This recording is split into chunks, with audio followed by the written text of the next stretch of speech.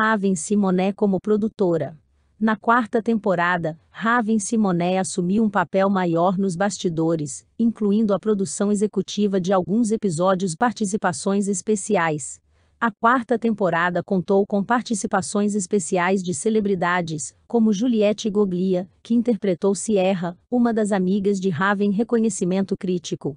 Apesar de ser voltada para um público jovem, a série recebeu elogios por seu roteiro inteligente e pela performance de Raven Simonet Raven Simonet e improvisação. Raven era conhecida por improvisar muitas de suas falas e gestos, contribuindo para o humor único da série episódios mais sombrios. A quarta temporada apresentou alguns episódios com temas mais sérios e tons mais sombrios, refletindo o amadurecimento dos personagens reverberação no fandom. A série continua a ter uma base de fãs leais, que frequentemente discutem episódios e teorias em fóruns online legado de comédia. As Visões da Raven é lembrada como uma das melhores comédias de situação da Disney, influenciando gerações de jovens comediantes expansão do universo. O sucesso da série levou à criação de produtos derivados, como livros, brinquedos e jogos de vídeo episódio inspirado em I Love Lucy.